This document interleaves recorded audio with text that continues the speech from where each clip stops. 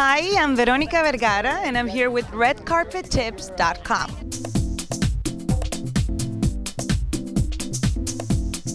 How are you doing, Alex? I am super excited to be here and I'm very happy tonight. What's going on in there? Um, Alex, this is for Red Carpet Tips. So, kind of, what do you do to get ready for a red carpet like Oh my this god, what do not what do I not do? Tell us all. well, I think it's very I use a mask, an egg, eggshell mask every time that I come to red carpet and it leaves your I skin do looking appreciate great. it.